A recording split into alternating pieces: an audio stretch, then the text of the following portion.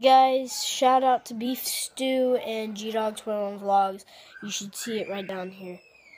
So go subscribe to them. Shout out to them. See you